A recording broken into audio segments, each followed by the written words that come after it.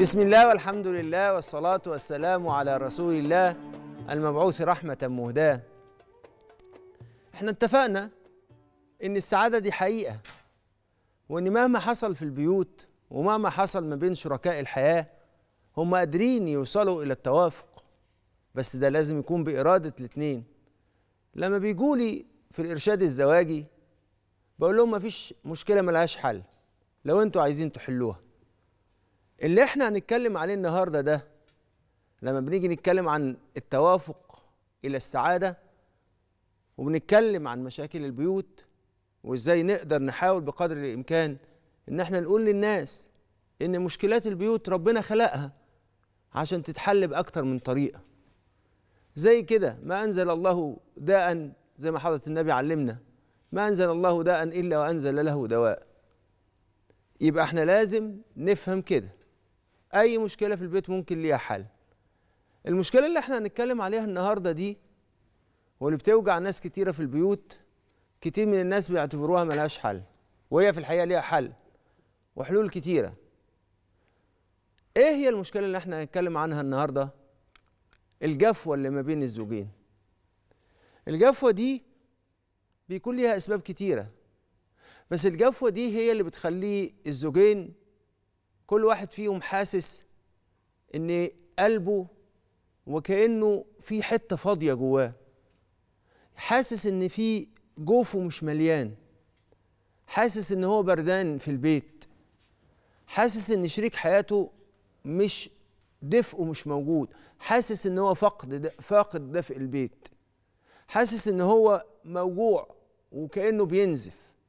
حاسس كمان إن هو صوته بيرن في البيت وكأنه عايش لوحده في بيت ما فيهوش لا أساس ولا فيه ناس. هي ده هي دي الجفوة. حاسس إن ما حدش بياخد بحسه ما حدش بيسمعه. الإحساس ده إحساس الجفوة دي اللي بتحصل ما بين الناس في البيت. أنا أعرف ناس ابتدوا في وعاشروا وعاشوا فيها عشرين سنة عشرين سنة في الجفوة دي. الجفوه دي تفضل توسع توسع توسع لغاية ما الناس يبعدوا عن بعض ويحسوا بإن هم في جزر منفصل عن بعض. طب إيه اللي بيخلي الناس تقع في الجفوه دي؟ إيه اللي بيخليهم جفوه أنت عارف إيه؟ قال له البعد جفا. اختلاف الأنماط في بعض الاحايين وعدم معالجة اختلاف الأنماط ده بالحوار بيعمل جفوه الجفوه كمان بتحصل من التراكمات. يبقى الجفوة الأول خالص بتحصل من إيه؟ إن يبقى في اختلاف في أنماط الشخصيات والناس ما بتتكلمش فما بيقربوش من بعض فتحصل جفوة. كل واحد فيهم يحس إن التاني مش فاهمه ومش ممكن يوصل إليه. فتحصل فجوة فتحصل جفوة. يحصل بعد والبعد يجيب جفا. الجفا يعمل إيه؟ الجفا يعمل خشونة في التعامل. السبب التاني اللي ممكن تلاقيه وتلاحظه بدقة جدا جدا وبيسبب الجفوة ما بين الزوجين التراكمات. يحصل تراكمات وما يحصلهاش أي معالجة. وحد يزعل فيسيبه يزعل. ياخد على خاطره وماله هيروق لوحده. فتحصل الجفوة. كمان في احتياجات كتيرة غير ملباه فبتعمل إيه؟ فبتحفر. هي عندها احتياج إن حد يطبطب عليها بعد ما والدها انتقل أو إن هي ملهاش أصحاب فعايزة زوجها يبقى صاحبها أو هو عايز حد يطبطب عليه بسبب أعباء الشغل عنده احتياج غير ملبى وهي عندها احتياج غير ملبى فإيه اللي يحصل؟ فالاحتياجات دي تحفر لغاية ما تحفر خندق يكون بينهم هما الاثنين ما يقدروش يعبروا لبعض. كمان من الأسباب اللي بتعمل جفوة في البيوت طول انتظار شريك حياته إن شريك حياته يعبر إليه. هما بينهم بعد فكل واحد منتظر التاني إن هو يعبر إليه. فتمر الساعة والساعتين واليوم والشهر والسنة ومحدش عدى للتاني. فتحصل جفوة. فإيه اللي يحصل؟ فيحصل بعد الجفوة يحسوا إن في حاجات فيهم دبلت وحاجات فيهم وكأنها ما بقاش فيها حياة. لأن الانتظار بيعمل جفوة. وعشان كده الجفوة لازم نعرف إن الجفوة دي اللي جه بطول الزمن واللي جه بالتجاهل مش نهاية العالم. اللي جه بالتجاهل يروح بالاهتمام. واللي تراكم بمضي الزمان ناخده واحدة واحدة. فالجفوة مش نهاية العالم على فكرة. الجفوة مش نهاية العلاقة الزوجية. في ناس بيعتبروا إن الجفوة نهاية العلاقة الزوجية لأن هم مبتدئين. إحنا هنتجوز نبقى زي بعض بالظبط. مفيش أي فرق بيننا مفيش أي خلاف. إزاي؟ ده حضرة النبي صلى الله عليه وسلم كان بيختلف هو السيدة عائشة. لدرجة إن يقول حضرة النبي إني لا أعرف متى تكوني عني راضية ومتى تكوني عني ساخطة. هم يختلفوا لغاية ما يجيبوا سيدنا أبو بكر يحكم بينهم. فالخلاف ما بين الخلاف ما بين البشر ما بين كل الناس موجود فهو مش نهاية العالم يعني. فإيه اللي حاصل؟ فالجفوة الزوجية مش نهاية العالم.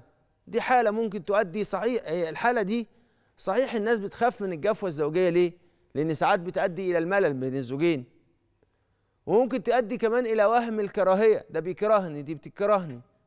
هو لو ما كانش بيكرهني كان ليه بعد عني كده؟ هو بعد عنك لأن هو في الحقيقة مش حاسس إن أنت عايزة تعيشي معاه حبيب وحبيبة. أنت مش عايزة تعيشي معاه على إنك صديقته. هو كمان هي بعيدة عنك لأن هي حاسة إن أنت طول الوقت بتبعد عن اهتماماتك وعن حياتك. فبعدت وحصلت الجفوة دي وكل واحد فيكم بيقول عن التاني إنه كأنه ما يعرفوش. وعشان كده من أهم علامات الجفوة دي حاجة أنا بسميها البرودة المنزلية. كل حاجة تبقى في البيت باردة أو بايتة. ما فيهاش أي إحساس ما فيهاش أي دفء. أو إن يبقى في ظاهرة تانية أو في علامة تانية بتدل على الجفوة ما بين الزوجين. يبقى بيتين في بيت. يعني إيه بيتين في بيت؟ بيت وكأنها هي عايشة في بيت ليه نظامه وليه ترتيبه وليه احتياجاته وليه الطريقة اللي بيعيش بيه. على فكرة وليه ال style life يعني ليه طريقة العيشة بتاعته وهو ليه كمان بيت تاني. أنا لما باجي أتأمل هذه الظاهرة بشوف حضرة النبي إزاي قدم لنا علاج وإزاي حضرة النبي صلى الله عليه وسلم علمنا بهديه المبارك وإحنا دايما لما بنقرأ حديث رسول الله صلى الله عليه وسلم بنقرأه بسعة. شوفوا حضرة النبي صلى الله عليه وسلم لما تصف زوجاته إن هو كان في مهنة أهله. يعني إيه كان في مهنة أهله؟ إن هو كان مندمج في الأسرة، فإحنا في أسرة واحدة مندمجين في أسرة واحدة مندمجين في كيان واحد، ده إحنا كمان ممكن نقول مندمجين في جسد واحد. فرسول الله صلى الله عليه وسلم كان في مهنة أهله عشان يبقى نفس الاهتمامات واحدة وإحنا في نفس مشاركين لبعض في الأعمال كلها فما تبقاش في جفوة. يبقى الجفوة ممكن تحصل بسبب إن الناس علامة الجفوة الأولانية برودة المنزلية، العلامة الثانية بيتين في بيت، الثالثة العلامة الثالثة هو الاستغناء الاستغناء الذاتي. يعني إيه الاستغناء؟ كل واحد يستغني كل واحد من شركاء الحياة يستغني بنفسه عن الطرف الآخر. إيه اللي حاصل؟ حد حاسس انه على فكرة ولازم نكون نتكلم بصراحة إذا كنا عايزين نحل. لما بيسألوني مين أكتر الناس اللي بيتعرضوا للجفوة الزوجية؟ المستقلين.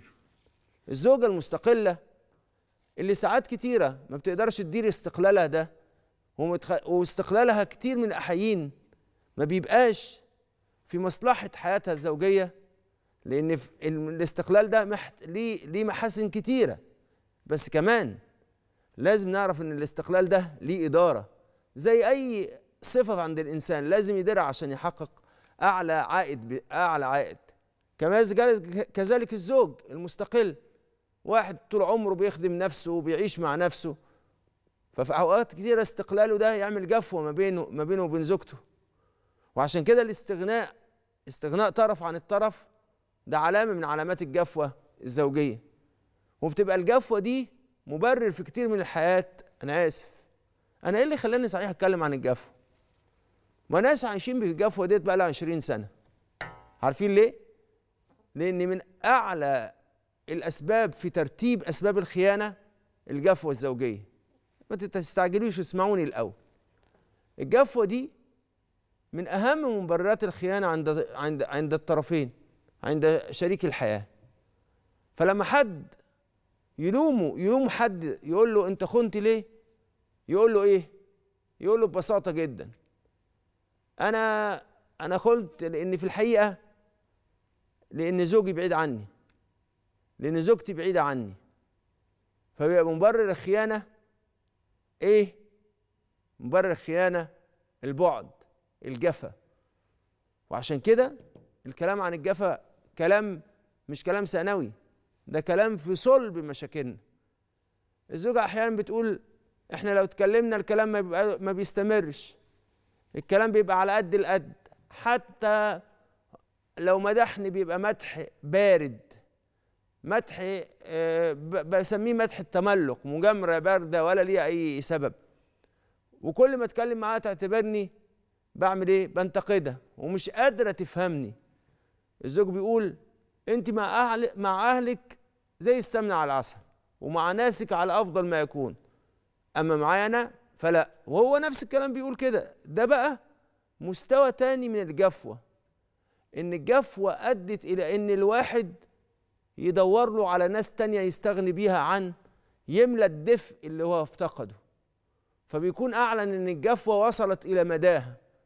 فإيه اللي يحصل؟ فيعيش مع الطرف الثاني وشريك الحياة يحس كده بقى. يحس إن بقى له حد تاني بيتدفى بيه. حد تاني عايش معاه وتركه. وعشان كده في أوقات كتيرة الزوج يقول أنا مش حاسس إن أنت زوجتي كل ما أكلمك كلمة تفهميها غلط لدرجة إني مش عارف أتكلم معاكي وبخاف أتكلم معاكي.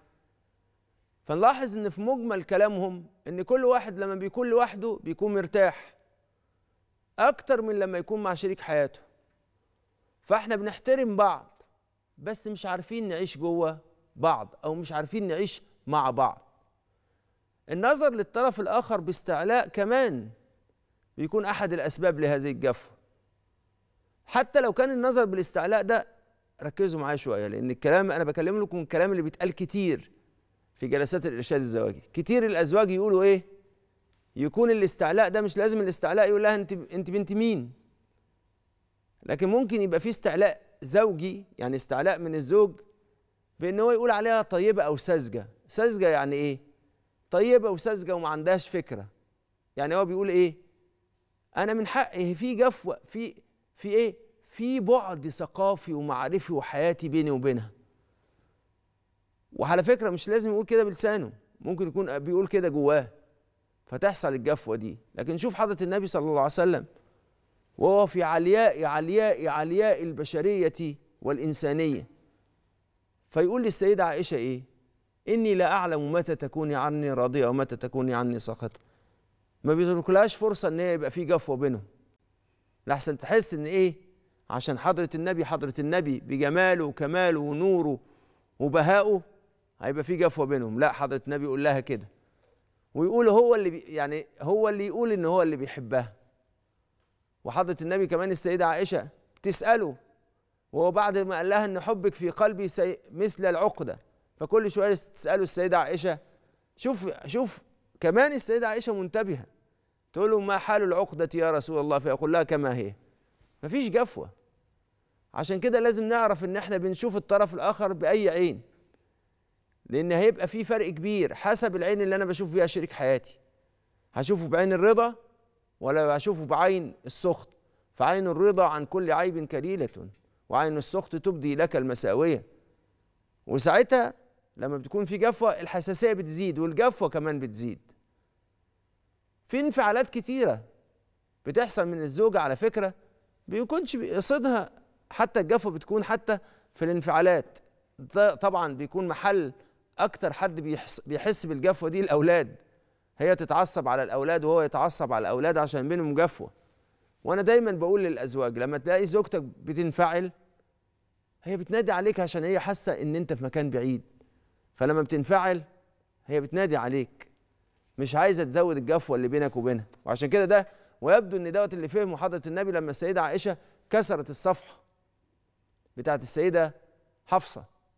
فرسول الله صلى الله عليه وسلم تبسم وعرف إن هي هي حاسة إن هي في حد بينتهك خصوصيتها فهي عايزة تحافظ على خصوصيتها. أنت معايا يا رسول الله ما حدش يشاركني فيك دلوقتي. فحضرة النبي قال إيه؟ غارت أمكم. عشان حضرة النبي صلى الله عليه وسلم كان عايز يحسس السيده عائشة إن هو فاهمها وإن مفيش جفوة وإن هذا التصرف وإن كان تصرف مش مناسب لكن هو مش هيعمل جفوة. يبقى حضرة النبي صلى الله عليه وسلم فهمها إن هي حبيبته وإن هو فاهمها. في حاجة في الجواز بتسهل الاندماج وهي إن كل واحد يتيح نفسه للآخر. يعني إيه يتيح نفسه؟ يعني حاسس الآخر إن هو جاهز إن هو يندمج معاه. جاهز إن هو يكلمه عنه. جاهز إن هو يسمع منه رأيه فيه. مش قصدي ينتقده لكن جاهز إن هو يقول له أنت زعلان ليه؟ كلمني عن نفسك. جاهز بيتيح نفسه لده. يقول له أنا عايز أقعد معاك اشكي لك عايز أقعد معاك أكلمك. الإتاحة دي اللي بنعمل اللي بتعملها الزوجة مع والدتها وبتعملها الزوجة دي مع أختها ومع صديقاتها الإتاحة دي لازم تكون جاهزة إن هي تعملها مع زوجها. والزوج كمان الإتاحة اللي بيعملها مع أصحابه على القهوة أو أصحابه في أي مكان أو حتى أصحابه في العمل يبقى جاهز إن هو يعمل كده الإتاحة دي مع زوجته. لأن ده لأن الزوج والزوجة هو آمن شخص ممكن تعمل معاه الإتاحة دي وتمارسها. الراجل لازم يكون للست عبارة عن باب مفتوح عشان تقدر تتيح فيه نفسها وهي مستورة. لأن هو شخص هو أقرب الناس إليك مش عدوك. وعشان كده هو امن الناس عشان تشوف في نفسك بأمان لا هيكذب عليك ولا هيستغل ولا هيستغلك. هي الناس اللي بينهم اللي بينهم جفوة. ما بينفعوش لبعض. سؤال بيجي لي كتير. هو إحنا بدل حصل بينا الجفوة دي يبقى إحنا كده خلاص انتهت القصة؟ وخلاص إحنا بعدنا عن بعض قوي قوي. يقول لي إحنا هو يقول لي إحنا بعدنا عن بعض قوي قوي قوي. وهي تقول لي إحنا بعدنا عن بعض قوي قوي. أقول له بتكرهوا بعض. يعني أنتوا بتحسوا ان كل واحد فيكم آه، أذى التاني ايذاء مش ممكن ابدا يتداوى. بعض الأحيان بيقولوا كده. بس هو في الحقيقة يعني ما بيبقاش الكلام كده خالص. لا طبعا. مهما حصلت الجفوة دي أي جفوه ممكن تتردم أي خندق ممكن نتجاوزه. وأنا بقول كده للناس. بس إحنا محتاجين نتعلم شوية مهارات. وأهم المهارات اللي إحنا لازم نعملها عشان الجفوه دي تتسد ثلاث مهارات. المهارة الأولى هي مهارة الامتنان الخاص. إن أنت تعمل امتنان للزوجة. أنت مش بتعمل امتنان لواحد معاك في الشغل ولا بتعمل امتنان لحد عمل لك حاجة في الطريق. أنت بتعمل امتنان لحبيب لحبيبتك لشيء حياتك. أكتر حد هتسمع فيه حديث رسول الله صلى الله عليه وسلم الرجال شقائق الرجال زوجتك.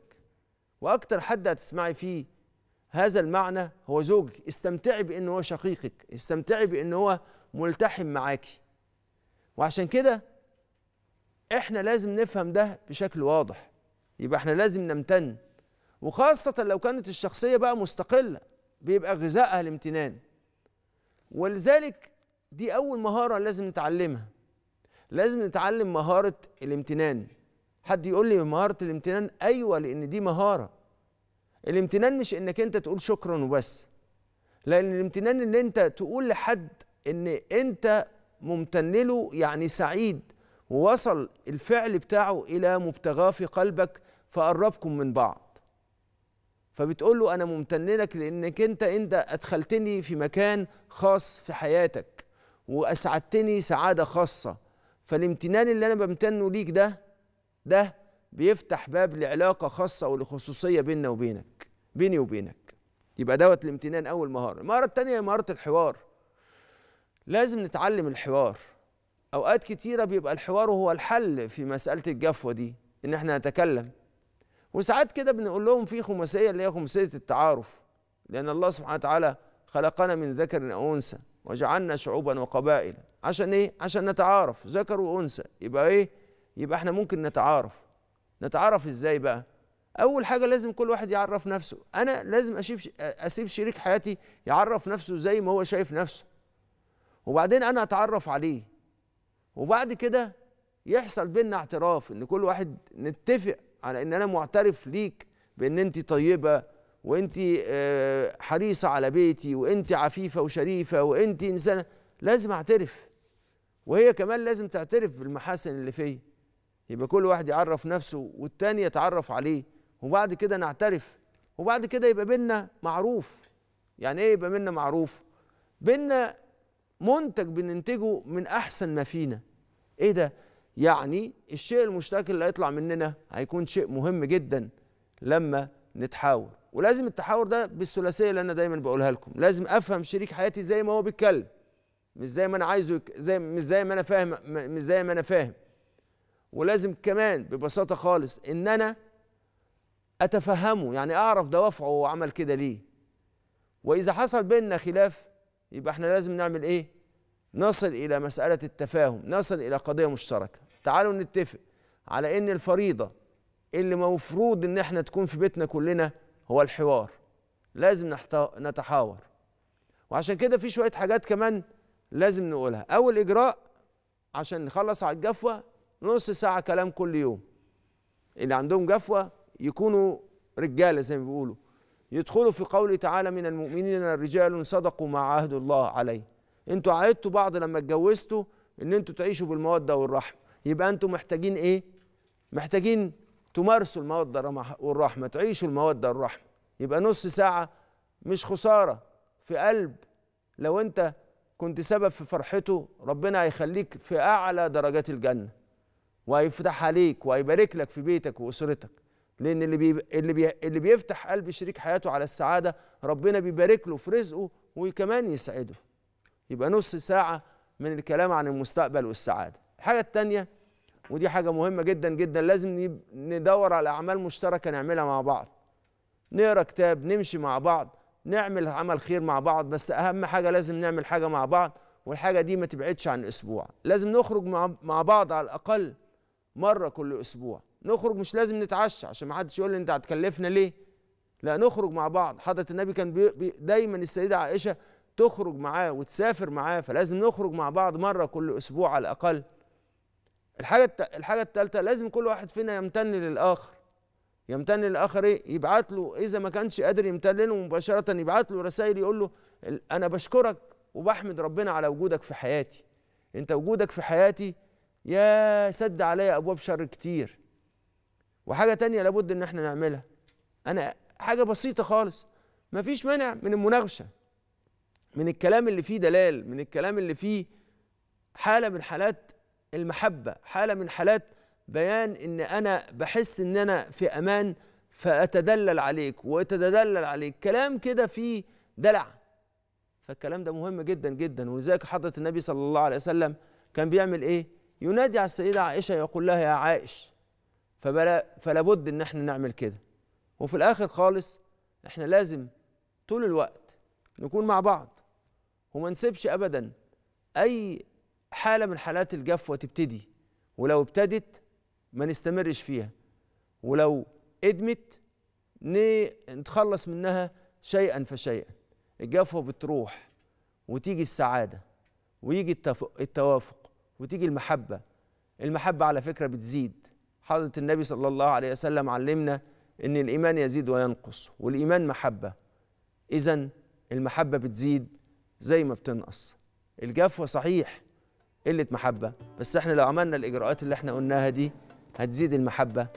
وما تصدقش اللي بيقول لك ابعد حبة تزيد محبة. قرب حبة. الله سبحانه وتعالى يقذف في قلبك المحبة. يا رب قربنا من بعض. وابعد عنا الجفوة. واجعلنا دايما من أهل النعمة. واجعلنا دايما من أهل المحبة. يا كريم يا ودود يا رب العالمين.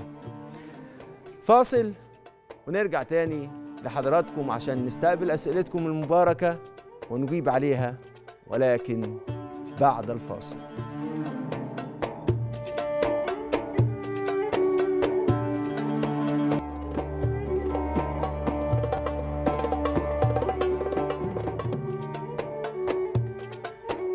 رجعنا لحضراتكم معانا صفحتنا على الفيسبوك صفحة برنامج ولا تعسروا.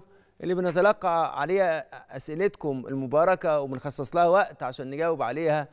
ونبتدي أول سؤال معانا في حلقتنا النهاردة مع أم عبد الرحمن من الإسماعيلية. أم عبد الرحمن السلام عليكم. وعليكم السلام ورحمة الله وبركاته. بعد إذنك يا مولانا كنت أسأل حضرتك ثلاث أسئلة صغيرين قوي في الصلاة. اتفضلي. آه، كنت عايز أسأل حضرتك يا فندم هو ينفع إن أنا أصلي في البيت؟ آه، ببيجامه بيت واسعة وطويلة الطوب بتاعها طويل طيب. ولا لازم أبقى لابسة سدال؟ ده طيب. السؤال الأولاني. السؤال الثاني أنا كنت بصلي المغرب وسرحت في التشهد الوسطاني وسلمت يمين بس ما سلمتش شمال. افتكرت على طول رحت قايمة واخدة الركعه الثالثه وسجدت سجدتين سهو وسلمت. كده المغرب ده محسوب ولا لازم أعيده؟ السؤال الثالث يا مولانا آه، هو دلوقتي بالنسبة لفترة الحيض أنا هقطع الصلاة إمتى؟ لأن أنا مامتي بتقول لي لازم يعني إيه واحدة السنة لما تشوف مثلا دم كتير مش من أول نقطة فمعلش أنا آسفة كنت عايز حضرتك وأنا هقطع الصلاة من إمتى طيب بص يا ستي أول حاجة أول سؤال بس سؤال المغرب بس أنت سلمتي بعد سلمتي بعد من ال... من الركعة الثانية وبعدين رجعتي جبت الركعة الثالثه صح كده آه بس ما. كملتش السلام ال- يعني ما كملتوش كله. يعني يمين خ... وشمال ما. في... ما فيش مشاكل بس أنا بس أتأكد إن أنا سمعتك صح أول حاجة يجوز لك إن أنت تصلي بالبيجامة إحنا ما بنقولش الناس صلوا بالبيجامة لكن يجوز لك لأن هذا إحنا شرطنا في الصلاة إن يكون البدن كله مستور إلا الوجه والكفين بالنسبة للمرأة. يبقى أنت لو كان البيجامة سترة الجسد كله إلا الوجه والكفين فصلاتك صحيحة وليس فيها شيء. أنا فاهم إن أنت بتقولي إن أنت هتلبسي بيجام- بيجامة وهت... وكمان هتلبسي طرحة على شعرك عشان تبقي سترة جميع بدنك. فإذا كان الكلام ده فصلاتك صحيحه ما يهمناش بقى انت سا... انت انت لابسة بيجامة ولا لابسة اسدال اهم حاجة إن انت لابسة ما يستر بدنك إلا الوجه والكفين. فصلاتك فصلاتك على الهيئة اللي انت قلتيها دي صلاة صحيحة. الأمر الثاني في صلاة المغرب اللي انت عملتيه ده صحيح. انت سلمتي حتى لو سلمتي سلام واحد وما سلمتيش السلامين فانت زودتي حاجة في الصلاة. وكمان سهيتي فصل... فس... فسلمتي من الركعة الثانية فعشان كده ده محتاج إن أنت تجيبي ركعة عشان تتمي ركعات الصلاة وتسجدي للسهو قبل السلام. خليكي تسجدي دايما للسهو قبل السلام واسجدي للسهو قبل السلام عشان آه، تجبري ما وقع من آه، زيادة في آه، مسألة الصلاة. إمتى إمتى أنت بتتوقفي عن الصلاة؟ مع الدفقة اللي بتحصل من الدم لما يحصل فيه حيض. فلما تحصل دفقة من الدم فيها حيض يبقى انت هتمتنع عن الصلاة. مش لازم يبقى الدفقة دي آه، دم غزير بشدة لكن بمجرد ما يخرج دم هذا الدم يكون دفقة فيبقى خلاص انت عليك كده خلاص انت حصل الحيض وعليك ان انت تمتنع من الصلاة. معانا كمان الأستاذة أميرة من الاسكندريه أستاذة أميرة. أيوه السلام عليكم سيدنا الشيخ. عليكم السلام ورحمة الله وبركاته. لو سمحت يا سيدنا الشيخ كنت عايز أسأل حضرتك على حكم يعني إن زوجي عايزني أبقى يعني الوشم أو التاتو دوت بس ما حد يشوفه غير الزوج بس مش باين أو على إيدي في جسمي بس هو مش باين غير طيب. بس زوجي بس هو اللي يشوفه فهل ده حرام ولا لأ؟ بصي يا ستي القضية الوشم مش هي قضية إن ح- إن حد يشوفه ومحدش يشوفه طبعا ال- الست لازم تستر بدنها وما يظهرش منها غير الوجه والكفين ولازم تكون هي ساترة لعورتها فهي اذا فإحنا بنتكلم على ستر العورة فستر العورة ديت إحنا مش بنك... سؤالك مش في ستر العورة سؤالك هل يجوز إن أنا أعمل التاتو ليه عشان زوجي شايف إن دوت نوع من أنواع الجمال إن أنا عايزه أو نوع من أنواع الزينة دي؟ يصح في حالة واحدة بس في حالة في حالة واحدة إن يكون إيه؟ إن يكون ده مش مخلوط بالدم يعني ده مش بالإبر اللي بتخرج منها دم ثم نحبسها عشان دوت هيبقى الدم نجس فيبقى دوت ممنوع عشان النجاسة مش ممنوع عشان ما ينفعش أتزين لزوجي بده. فإذا كانت المسألة بعيدة عن ده في بعض الحاجات ال- ال- التاتو ده بيتعمل عن طريق حقن حقن مادة صبغية في الطبقة الأولى من الجلد. ما بيكونش دوت من خلال إخراج الدم. إذا كان هذا النوع فيجوز آه عمل ده للزوج لأن السيدة عائشة رضي الله عنها قالت إن استطاعت المرأة أن تخرج عينها فتزينها ثم تردها لأجل زوجها فلتفعل. فيجوز إن أنت تعملي الكلام ده إلا طبعا إذا كنت أنت مش عايزة. يعني أنت إذا ما كنتيش مش عايزة أنت بتسأليني يجوز ولا ما يجوز؟ فيجوز. يجوز إذا كان هو من الحقن بالمادة الصبغية وليس من قبيل الوشم اللي بيتعمل عن طريق إخراج الدم ثم كتم الدم باللون اللي بيحصل معاه إن يفضل الدم دوت منجس آه الجلد فساعتها هيكون الوشم دوت ممنوع وحرام. يبقى الوشم اللي ممكن يكون مباح وساعتها هيبقى دوت نوع من أنواع صبغ الجلد وليس من الوشم ال- المعتاد ال- اللي موجود اللي بنعمله الناس بعبر الدم. معانا أم حسام من القاهرة. ازيك يا دكتور زي حضرتك. نعمة وفضل الحمد لله. الحمد لله. ربنا يكرمنا جميعا يعني يا رب. يا رب يا رب يا طبعا أنا عاوزة أسأل حضرتك على حاجة. أنا عندي 60 سنة. أنا عندي آه، مش حاجة ليا أنا. أنا بسأل على ليا بنت أخ متجوزة من وهي 16 سنة وخلفت ولد عنده دلوقتي إيه ست سنين.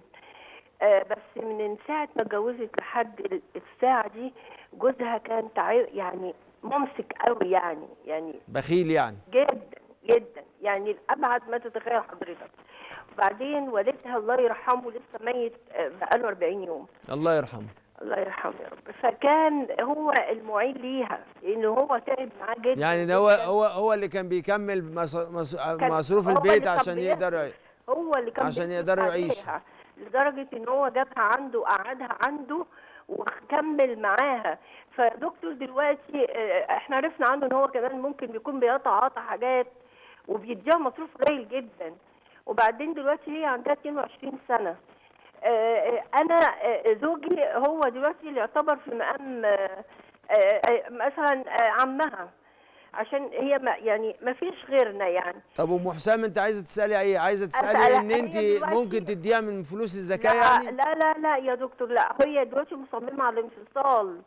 هل أنا لو كلنا معودينها على الموضوع ده لأن إحنا شايفين إن الحالة ما يعني يؤسى لها معاه درجة إن والدها اللي جات له ذبحه بسبب كان في مشكلة بينها وبين بينه وبين جوزها وبيكلمه وقع ساكت مات. يعني. يعني بصي بص عشان أقول لك حاجة بس يا حاجة ام حسام اتفضل هو في الحقيقة أبوها اللي هو أخوكي طبعا مش أيوة. كده آه. أخوكي أخوكي آه. مات بأجله مش مات أيوة. ب... ب... مش مات بسبب الذبحة اللي أيوة. هو موته بيها زو... لا ما تمام. بلاش بلاش نعمل كده لأن ده آه هيخليها هي تحس وتدفعه فاتورة موت والدها اللي هو تمام. كان سندها في الحياة فبلا... تمام. فبلاش كده طيب فخ... فتعالي فتعالي نقول أيوه. إن هو الشخص ده عنده ألو، هذه السلام الصفه عليكم. أنا أيوة. آسف على المقاطعة. آه اتفضل. آه شيخنا الجليل أبو- ازي حضرتك اول حاجة. نعم وفضل الحمد لله. مين الحمد لله. حضرتك؟ الله يخليك. أنا أعتبر دلوقتي كده البنت ديت هي بنت خالي رحمة الله عليه وما كانش زوجها سبب الوفاة ولا حاجة. ده كان قضاء الله. و... وإحنا نبهناها للنقطة ديت وجمعنا بيهم في منزلنا في قعدة. تمام؟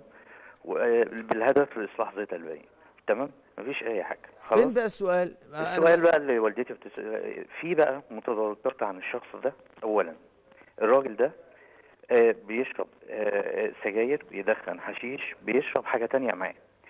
آه، بيصرف فلوسه كلها على نفسه. ممكن يبعتش لابنه أربع أيام أو خمس أيام فلوس ياكلوا ويشربوا تمام؟ آه، آه، هاتك آه، عرض هاتك العرض. يعني أنا مش مش بكشف ستر لا ده هو في بيتنا في منزلنا ماشي؟ آه، قال إن هو يعني اختلى بأختها كمان. يعني أخت مين؟ ارتكب اخت أخت بنت خالي. تمام؟ فأصبح طيب، في هنا بص- واقعة ما بص بين الأختين. بص يا سيد حسام بص يا سيد حسام. اتفضل. أنا عايز بس أقول لحضرتك حاجة. في الأحوال اللي زي دي المسائل اللي فيها تفاصيل زي دي أنا ما أقدرش أسمع من طرف واحد. بنت خالك عايزة تروح تتطلق من جوزها. أي حد حد يجي يكلمه في مسألة فيها تفاصيل زي دي ويجي على الهوا يقول لحد روح اتطلقي يبقى الراجل ده مش أمين.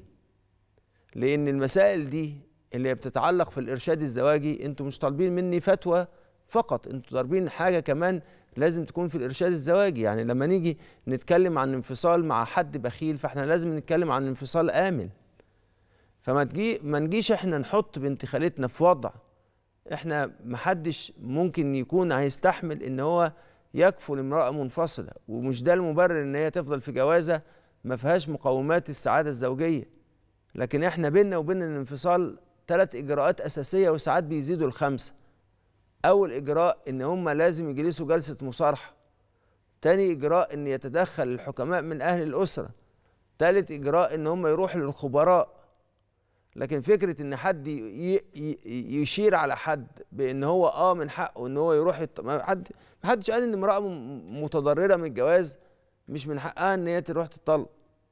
لكن أنت بتسألني بخصوص بنت خالك.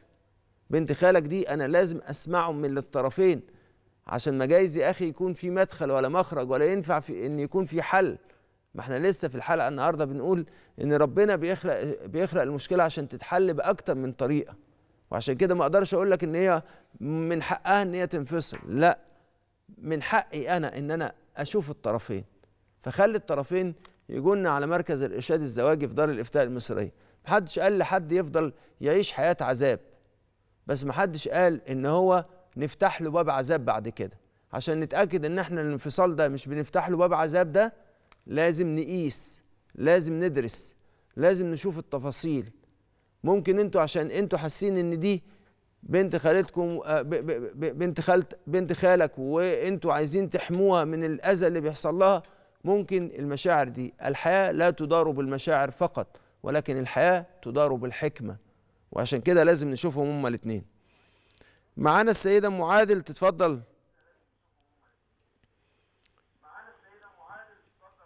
و... أيوة و... سنة والسيده ام طيب. وانت طيبه أنا بس بتمنى على حضرتك يا حاجة أم عادل بس نوطي التلفزيون وتسمعيني من التليفون لو تكرمت. حاضر. حاضر. أنا وطيت التلفزيون أهوت. أنا بس أسمع حضرتك. على الله. يبارك لك ويزيدك علم وإيمان. بركتكم يا فندم. أنا ابني بيعقني وبيكفرني وبيمسك لي السكينة. أوف. وأنا عندي سبعين سنة. هو مدمن ولا حاجة؟ أيوه. و- وجوزته وصرفت عليه وعملت له كذا مشروع. مدمن. مدمن من كام سنة يا حاجة من ما ما من هو دلوقتي عنده 37 سنة. مش متجوز؟ متجوز وطلق مراته وخلف منها ولدين. ما هو أكيد عشان عشان الحياة اللي هو صعبة اللي هو بيعملها آه دوت. دلوقتي بيقول لي أنت ربطاني أنت اذياني أنت سحراني أنت كفره أنت بتعملي لي سحر. وأنا بصلي وبصوم الاثنين والخميس وعملت عمرتين وكنت شايلة قرشين عشان أروح أحج بيهم جوزته بيهم وعملت له كذا مشروع وخسر فيه. طيب يا حاجة حاجة آه، هو طول عمره كده بيتشكى وبيتظلم كده؟ من ساعة ما اتجوز الست دي فقرته. طيب قريته؟ هقول لك تعملي إيه يا حاجة ام عادل هقول لك بس بس اسمعيني يا حاجة ام عادل لو ابنك بيقعد يقول بيقول لك كده انت سحرالي وانت عاملالي وانت مسويالي ماليش دعوة بمسألة السحر. لكن إذا هو حس إن انت بتتأمري عليه ابنك بسرعة محتاج إن هو يروح لطبيب نفساني. يبقى حضرة النبي عليه قتلوهم قتلهم الله إنما شفاء العيش. السؤال المريض يتعالج. لو هو شايفك إن انت بتتأمري عليه هو محتاج إن هو يروح لطبيب وبسرعه يبقى هو اللي حاصل دلوقتي؟ إن ابنك محتاج طبيب نفسي.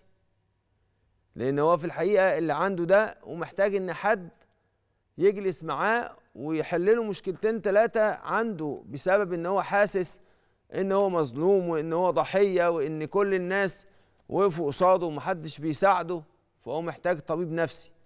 وما تسيبوش لنفسه لأن هو في الحقيقة ممكن يكون بيتعاطى عشان هو حاسس إن هو لما بيتعاطى بيخرج من حالة المظلومية ومن حالة إن هو كل الناس واقفين ضده. فعشان كده هو محتاج طبيب نفسي بأسرع وقت ممكن يا حاج ام عادل أستاذة صابرين تتفضل.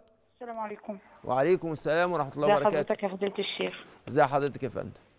ربنا يكرمك. هو السؤال على السريع كده يا فندم. اتفضلي. هو سيدنا رسول الله صلى الله عليه وسلم قال كل من نبت من حرام فالنار أولى به.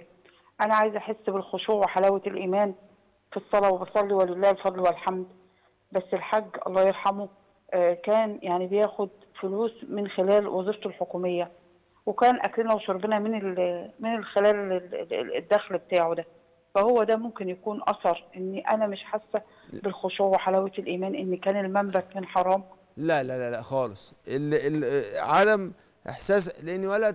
لا ولا لا تزر وازره وزر أخرى. انت اللي عندك دوت سببه حاجة تانية بس. سببه ان انت بتحسي بالوحدة والوحشة فمش قادرة تدخلي مع ربنا في حالة من حالات المحبة والود وانت حاسة ان ربنا ما حققلكيش مرادك. أيوه يا فندم فعلا. طيب مال بقى بابا؟ لا أنا بقول ده يمكن سبب من ضمن وعشان كده قلت لك ده مش يمكن. انت المشكلة عندك انت. طب يا فندم أنا. يعني يعني انت سنك كام سنة يا أستاذ صابرين؟ 45 متجوزة؟ آه ولله الفضل والحمد. طيب عندك ال... للأسف عندك أنا من الأولاد؟ أنا عندي ثلاث أولاد تمام؟ المساله المسألة سهلة المسألة سهلة يا ست صابرين. لحظة بس بس عشان ما أخشش في تفاصيل مع سيادتك عشان وقت حضرتك بس حضرتك بتحب السؤال يعني أنا بتابعك حضرتك بتحب السؤال بس. يا فندم أنا يعني آه، آه، أبو الولاد سافر بره. وبعد ما سافر بره ابتدى إن هو يتجوز حاجة اسمها جواز المتعة اللي هي من خلال كل ثلاث شهور. فأنا انفصلت ورمالي الأطفال دول وأنا ربيت ولله الفضل والحمد. معايا محامية اتجوزت ومعايا ولد في رابعة كلية تجارة جامعة عين شمس ومعايا بس انت بس انت بس. انت. اسمعيني بس يا أستاذ صابري بس انت ما انت اللي حاصل عندك إن انت وكأن حصل لك هزة قيمية. هو الناس الكويسين اللي بيقوموا بواجبهم كده ويتعبوا يتغدر بيهم كده؟ ده هو يا فندم كمان طلع عليا إن هو اللي أنا قلته صح؟ أيوه يا فندم أنت حضرتك بتتكلم صح. بس يا فندم هي هو كان عايز يرجع ولما ما حبيتش أرجع طلع عليا كلام مش مظبوط. بس ربنا أكرمني وبفضل الله اشتغلت وعلمت وربيت وكبرت وتمام التمام طب ما انت بقى ما انت بطل أهو انت زعلانة من إيه بقى؟ أنا مش زعلانة أنا حاسة إن أنا يعني أقول لك حاجة أقول لك أقول لك أقول لك حاجة تخليكي تحسي بالخشوع في الصلاة. أول حاجة بس أنت دلوقتي في مشكلة أساسية. أحد أشكال ونركز شوية في اللي أنا بقوله ده. أحد أشكال إحساس الناس بنعمة ربنا إحساسه بنعمة ربنا في اللي حواليه. فلما يحس إن واحد أذاه أو هانه أو منعه يحس إن ربنا سبحانه وتعالى ليه مش منعم عليا ومع إن إحنا ممكن نفكرها بطريقة تانية خالص. أنت خدت قرار وانفصلت عن زوجك لأن أنت حاسة إن هو بياخدك لتحت وبيأذيكي وبيخلي حياتك تعيسة. فأخدت القرار ده. وأنت شايفة إن أنت ارتحتي لما أخدت القرار ده. طب ما ربنا رزقك الهداية ورزقك إن أنت آه تكوني من أهل البصيرة واخترتي ده. إيه بقى اللي مزعلك؟ مزعلك ان انت حاسه ان انت محتاجة مساندة. انت محتاجة مساندة. مش قادرة تحسي حاسة ان انت وكأن حياتك اترمت في الأرض. واحد خلاكي عشت حياتك كده وبعدين حسيت ان حياتك مرت وما حصلتيش على حاجة. فانت حاسة بال- بان حد سرق منك حاجة. فحاسة ان انت اتحكم عليك ان انت تعيشي وحيدة بقية حياتك وخاصة بعد أولادك. فبتخش على ربنا بالوحدة بالكآبة. وعشان كده أنا منصحك تعملي ثلاث حاجات عشان تذوقي حلاوة الصلاة. حضرة النبي صلى الله عليه وسلم لما قال لسيدنا بلال وكلمه عن الصلاة قال أرحنا بالصلاة يا بلال. فلازم تتعودي إن الصلاة ما بتتدخلش كده كأني انت حصل في حاجة لازم تعمليها في الوقت ده فبتدخلي الصلاة دي. لازم مع كل صلاة تدخليها بمعنى. مرة تدخلي على في الصلاة وانت بتتذللي إلى الله وبت وبت وبتش وب- وتبيني لربنا قد إيه انت مفتقرة إلى حنانه وقد إيه مفتقرة إلى وده وقد إيه مفتقرة مفتقرة إلى عطاياه. ومرة تانية تدخلي الصلاة وانت حاسة إن ربنا سبحانه وتعالى أكرمك وأنعم عليكي فتدخلي على الصلاة وتبقى الصلاة ديت وكأنها صلاة شكر. ومرة تدخلي على الصلاة وانت مش عايزة حاجة خالص غير انك انت تحسي ان انت بتتغسلي بنور نظر ربنا إليكي وخاصة الصلاة صلة بين العبد ورب. لما تخلي كل صلاة من الصلوات بهذه الطريقة هتحسي بالخشوع. لما تحسي ان انت بتقرأي القرآن ربنا بيكلمك هتحسي بالذوق وحلاوة الصلاة. واحد قعد يقرأ في كل في كل الصلوات الج- الجهرية. كان يقرأ ببسم الله الرحمن يقرأ بسورة الإخلاص. فلما سألوه أنت ليه بتصر إن أنت تصلي بسورة الإخلاص؟ قال صفة الرحمن. فحضرة النبي قال له أخبروه بان بأن الله يحبه. يبقى هت- هتدوقي حلاوة الصلاة لو عملت كده. نعم. يبقى إذا إحنا لازم نفهم إن الصلاة ليست. ب... بنعيش فيها بمعنى واحد بس الصلاة دي جنة الحياة الصلاة دي الكنز اللي جاي لنا من قاب قوسين أو أدنى. الصلاة هي الوصل اللي بيننا وبين الله. يا رب اجعلنا دايما نذوق حلاوة الصلاة ونكون من أهل الحفاظ على الصلاة في كل وقت وحين. إحنا اتكلمنا النهاردة عن الجفوة. ما تخلوش بينكم وبين أحبابكم جفوة. عارفين ليه؟ لأن اللي بيملى الجفوة دي بينك وبين أحبابك. إذا أنت خدت المبادرة وخيرهم الذي يبدأ بالسلام وخيرهم الذي يقطع هذه الجفوة على طول هتحس بأن ربنا بيجري خير على على قلبك وهتحس بأن ربنا مدد ربنا بينزل عليك. عايز تحس بمدد ربنا؟ ما تسيبش شريك حياتك تلتهم المسافات. ما تسيبش شريك حياتك ي ي ي يتراكم عليه التراكمات. ما تخلوش يتردم تحت التراكمات. انت لو عملت كده انت احييت قلب انسان. اوعى تسيب حد الجفوة تلتهمه لأن لو التهمته الجفوة هيحس ان حياته ومشاعره ومحبته التهمتها شيء هو مش شايفه ولا حسه ولا قادر يمسكه. وبيحس ان شريك حياته كان هو بالنسبة له ما بيساويش حاجة. لو انك انت بس ركزت وقلت لشريك حياتك كلام حلو وامتنت له وحاولت بقدر الإمكان تكون قريب منه وتعملوا أشياء جيدة ربنا سبحانه وتعالى هيكرمكم. يا رب اجعلنا من أهل الإرادة ومن أهل القدرة إن إحنا نزيل المسافات بكرمك وجودك. يا ربنا اللهم أكرمنا بمددك لنقطع هذه المسافات ونكون دايما من أهل البركات. يا أرحم الراحمين. يا أكرم الأكرمين أكرمنا بالود على الدوام يا رب العالمين.